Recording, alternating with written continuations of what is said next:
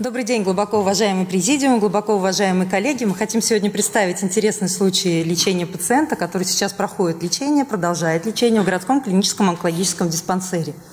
Итак, пациент 1941 года рождения, 77 лет, э, который отмечает, что 45-летнего возраста с 1985 года появление артериальной гипертензии. У него поднималось давление до цифр 180-90 мм ртутного столба, и также беспокоили редкие приступы стенокардии напряжения, которые купировались приемом нитроглицерина. Также в анамнезе у пациента в 2007 году трансуретральная резекция мочевого пузыря по поводу рака мочевого пузыря первой стадии. В настоящий момент ремиссия заболевания гистологически – это уретериальный рак.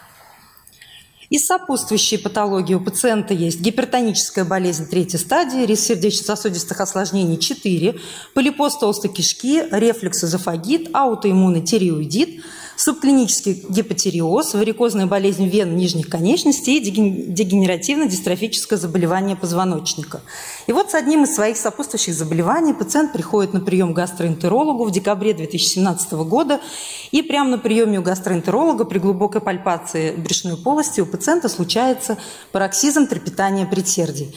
Хочу напомнить, что пароксизм трепетание предсердия возникает при ишемическом, может возникнуть при ишемической болезни сердца, при остром инфаркте миокарда, артериальной гипертензии, миокардита, гипертиреозе, неспецифических хронических заболеваний легких и при обструктивных хронических заболеваниях легких. И э, прям э, на прием в поликлинику по месту жительства, на прием гастроэнтерологу была вызвана бригада скорой помощи, и пациент был госпитализирован в центр Алмазова, где 15 января 2018 года им было выполнено восстановление синусового ритма с помощью электроимпульсной терапии и выполнена эхокардиограмма сердца, где было выявлено расширение правых отделов сердца, максимальная трикуспидальная регургитация и уплотнение пульмонального клапана.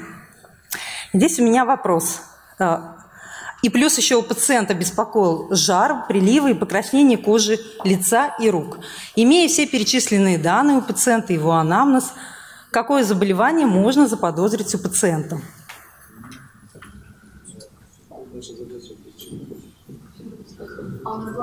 Голосование предусматривалось? Да, конечно.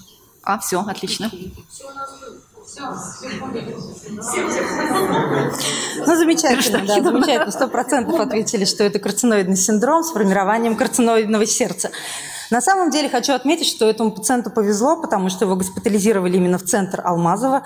И на самом деле у пациента заподозрили карциноидное сердце при выполнении эхокардиограммы. Это э, сделал э, врач УЗИ диагностики. И после этого уже был собран консилиум по пациенту. И дальше уже был расширен диагностический поиск. Итак, карциноидная болезнь сердца – это одна из причин сердечной недостаточности у пациентов с нейроэндокринными опухолями. Преимущественно поражает клапанный аппарат правых отделов сердца, но в 20% случаев может наблюдаться и поражение левых отделов сердца. Выявляется у каждого второго пациента с карциноидным синдромом. У каждого пятого больного может быть началом клинических проявлений функционирующих нейроэндокринных опухолей. Миокардиальные метастазы случаются в 5% случаев. Описаны единичные случаи метастазов, проводящей системы сердца. И, к сожалению, является одной из основных причин смерти среди пациентов с карциноидным синдромом. А, механизм развития карциноидной болезни сердца я представила на этом слайде. И так он начинается с выброса пептидов и вазоактивных веществ в полую вену. Дальше уже поражается правое предсердие, трехстворчатый клапан, правый желудочек. Образуется фиброэластоз эндокарда клапанов, смещение э, и дефект клапанного аппарата. Э, возникает регургитация и стеноз, и э, что ведет к перегрузке и дилатации правого предсердия, правого желудка, желудочка, извините, и гипертрофии правых отделов сердца.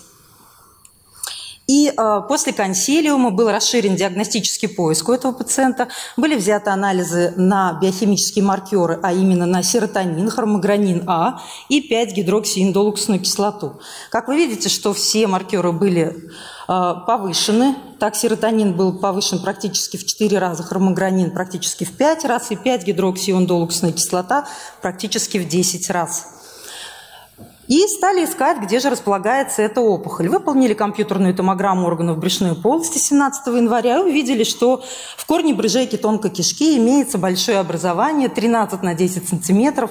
Образование прилежит к горизонтальной части 12-перстной кишки, медиальным отделом головки крючковидного отростка поджелудочной железы и, возможно, инвазии в брыжеечной вены. Соответственно, вероятнее, э, соответственно, пальпация глубокой брюшной полости э, данного образования вызвало у пациента пароксизм трепетания предсердий.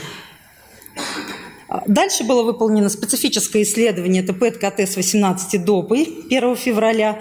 А, было подтверждено наличие образования нейроэндокрина природы 13 на 10 сантиметров – и, соответственно, нам нужен был диагноз, да, и э, необходима была верификация диагноза. Выполнена была пациенту диагностическая лапароскопия 27 февраля. А перед тем, как выполнить э, диагностическую лапароскопию, пациент был подготовлен к данной операции для того, чтобы во время операции у него не возник карциноидный криз, он получал в течение двух недель актериотит короткого действия. И э, при ревизии Э, было выявлено большое образование 20 на 15 сантиметров, которое занимало весь корень брыжейки и переходило на брыжейку поперечно-ободочной кишки. Э, э, к сожалению, взять биопсию из данного образования не получилось, потому что образование контактно кровоточило, поэтому на биопсию на морфологическое исследование были взяты лимфатические узлы брыжейки тонкой кишки. Иммуногистохимический диагноз звучал как нейроэндокринная опухоль, грейд 1, Ки-67, индекс пролиферации 1%. Таким образом, мы имели диагноз. Первично-множественная опухоль, первый рак мочевого пузыря первой стадии, хирургическое лечение в 2007 году. Второй – это нейроэндокринная опухоль тонкой кишки, грейд 1 с поражением забрюшинных лимфоузлов и лимфоузлов брюшной полости.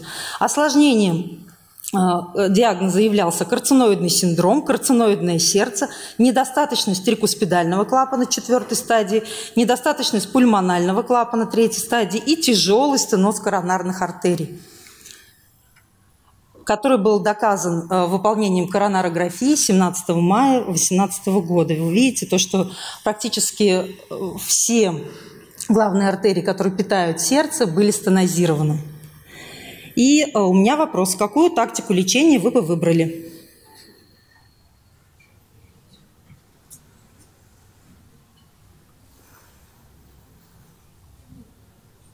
Что у нас с голосованием?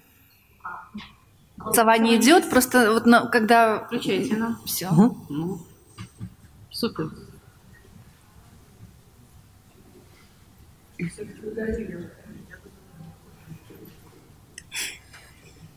На самом деле очень интересные результаты, да, потому что, конечно, хирургия клапанной патологии у данных пациентов она оправдана, да, потому что опухоль достаточно имеет индолентное лечение, и у этих пациентов возможно применять хирургию клапанной патологии. Что э, у данного пациента и было выполнено. Помогите, пожалуйста. Переключите, да, пожалуйста, на презентацию. Сейчас, буквально секундочку. Ну, листайте.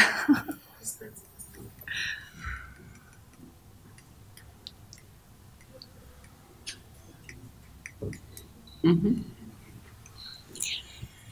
20 июня 2017 года пациенту выполнено аортокоронарное шунтирование, протезирование трикуспидального клапана сердца. На пожеланию пациента это было выполнено в одной из клиник Израиля. И э, в марте 2018 года пациенту был назначен самотулин аутажель 120 мг один раз в 28 дней подкожно, по которой это лечение пациент получает по настоящее время. Последнее исследование пациент выполнял Оценку эффективности мы выполняли 16 ноября 2018 года. И что интересно, что на применение аналогов соматостатина у пациента наблюдается стабилизация с мин и минус 7% регресса опухоли. И э, все анализы у него в настоящий момент имеют тенденцию к снижению. Пациент чувствует себя отлично, он профессор, он читает лекции, ходит на работу, вот, и в настоящий момент получает аналоги соматостатина. Спасибо за внимание. Просто А, Рашида Ахидовна, дайте, пожалуйста, микрофон, у нас запись ведется. таких вот ну, вопросов. Во-первых, э, представляете, больному пальпируют, у него мерцательная аритмия, пароксизм. Как бы ему делать операцию лапароскопическую? Ведь там же они же дотрагиваются, да, и, соответственно, могло на операции возникнуть, ну, вплоть до остановки сердца. Идти на лапароскопию было очень опасно, и хирурги отказывались. А кардиологи говорили, что, слушайте, вы уж свою опухоль сначала диагностируйте, а потом мы возьмемся. Поэтому было очень сложно. И мы тогда решили, все-таки решили ему дать аналоги самоцитатина. короткого и вот на он фоне да. них смогли сделать через какое-то время. Он потерпел, подождал. И потом сделали уже биопсию. Ну и второй случай, то, что наши кардиохирурги взяли его на операцию. Но у нас хирурги еще точат ножи. Вот я не знаю.